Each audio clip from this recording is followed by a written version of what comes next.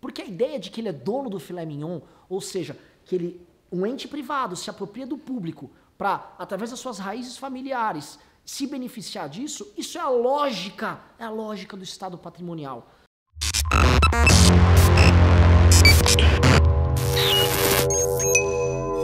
Meus queridos amigos, preciso falar de um assunto delicado. Eu sei que é aquele assunto, aquele vídeo que vai gerar um rage, que vai gerar a gente vindo aqui xingar, mas nós estamos aqui para falar o que tem que ser falado. E é um assunto que me preocupa muito, é um assunto que eu gosto de acompanhar, é um assunto que, no fundo, o grande trabalho, a grande luta do MBL é contra este esta característica uh, comum uh, do brasileiro e da política brasileira, que é o patrimonialismo, e tem a ver também com essa declaração ruim que o Bolsonaro deu é, agora nessa última quinta-feira. Vou tratar disso e espero que você acompanhe até o final para entender o raciocínio aqui, tá? Até para você poder me xingar depois. Antes de continuar, por favor, se inscreva no canal, deixe seu like, clica no sininho se você gosta do nosso trabalho, www.mbl.org.br contribua.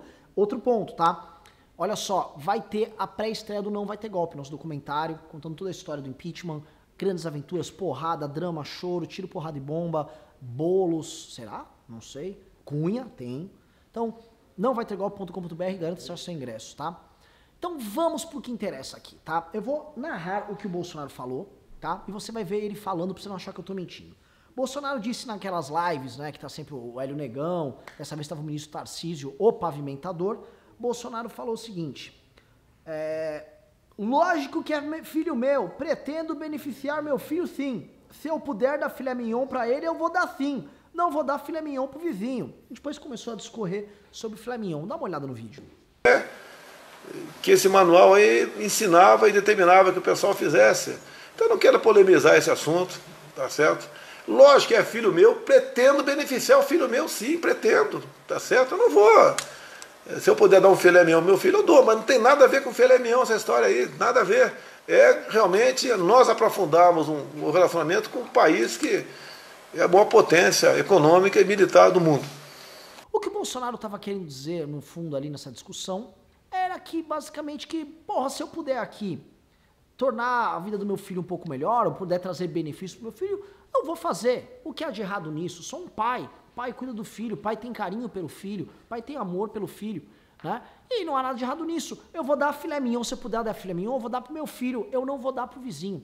E de certa forma, essa declaração né? Ela, tipo assim, para entender o que é o patrimonialismo no Brasil, essa declaração é fundamental, é fenomenal. Porque a ideia de que ele é dono do filé mignon, ou seja, que ele, um ente privado se apropria do público para, através das suas raízes familiares, se beneficiar disso, isso é a lógica, é a lógica do Estado patrimonial. Se um dia vocês forem estudar a lógica do Estado patrimonial, você vai pegar de Raimundo Faoro a Sérgio Buarque de Holanda, inúmeros autores, Antônio Paim, gente que estuda seriamente, existe esse problema sério aqui no Brasil, que é o Estado patrimonial.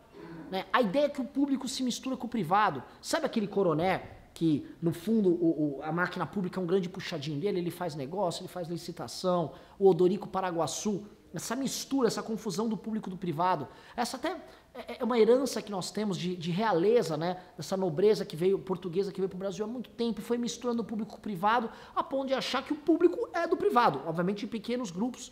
Isso é um problema mais grave do Brasil, porque a gente só vai conseguir ter um Estado minimamente eficiente, né? E enxuto e pouco corrupto, se nós eliminarmos a ideia da pessoalidade, ou seja, de alguém achar que relações pessoais, cordiais, afetivas, afáveis dentro da máquina pública dão o tom e não a impessoalidade. A impessoalidade é justamente assim: eu não tenho relações pessoais com ninguém, você é igual perante a lei. Logo, vou tratar a máquina pública, a coisa pública, como todos iguais perante a lei.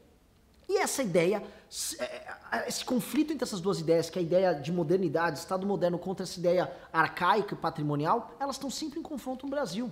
Quando a gente pede impessoalidade, máquina pública menor, gabinete de político enxuto, a gente está falando pessoalidade, impessoalidade, eficiência, respeito à coisa pública.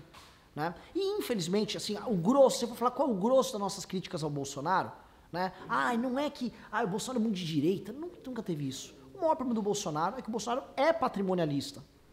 Né? E o Bolsonaro, ele expressa seu patrimonialismo no seu serviço público. Ele era um deputado que defendia privilégios de, de, de militares? Ele era. Não sou eu que estou falando, são as votações dele. É ele que sempre falou, ele cuidava desse nicho. E até é legítimo, mas é, é patrimonialista. Bolsonaro sempre foi um cara que lotou gabinete, sempre foi. Sempre foi um cara que votou a favor de privilégio, sempre foi. Ele disse agora, não sou mais assim, porque na hora que ele senta na cadeira de presidente, você tem que fazer uma reforma da Previdência, tem que lidar com isso. Porém, a prática que está arraigada dentro dele se expressa nessas coisas. Eu tenho certeza que você que está nos assistindo não acha correta a nomeação do Eduardo Bolsonaro ali para a embaixada e as razões que são dadas são sempre muito ruins. Tipo, ele é amigo do Trump. Ele, ele não é amigo do Trump. Ele não é amigo do Trump. E se você assistiu o documentário do Trump, se você lê o livro do Trump, o Trump não vai fazer, vai ser bacana com o Brasil simplesmente porque o Trump gosta supostamente do Eduardo Bolsonaro.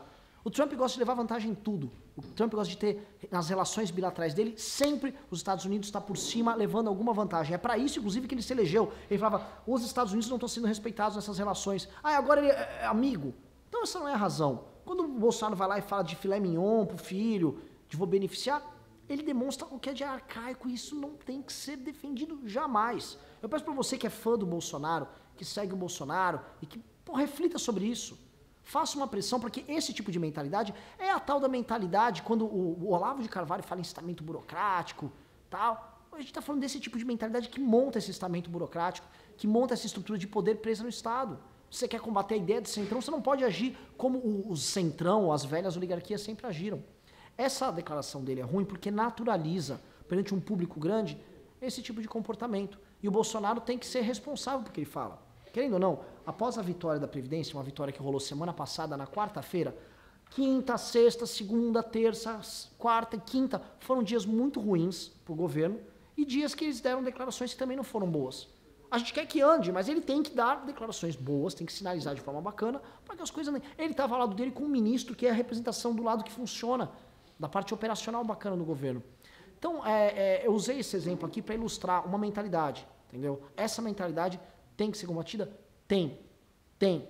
Né? Se não, fica dado exemplo para muita gente que é do próprio PSL, que acha que tem uma licença só, por exemplo, de por puxar o saco do Bolsonaro, para ter um gabinete cheio de gente, gente pendurada tudo quanto é canto, tudo quanto é lado, votar a favor de privilégio como votar a favor de privilégio da, da Polícia Federal, e você não vai ter nenhuma uma mudança efetiva no Estado brasileiro, que é o que todos nós queremos. É isso aí, galera. Obrigado e um abraço para todo mundo.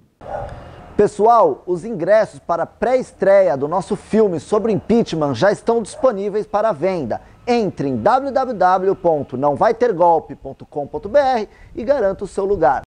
Inscreva-se no nosso canal youtube.com/mblivre.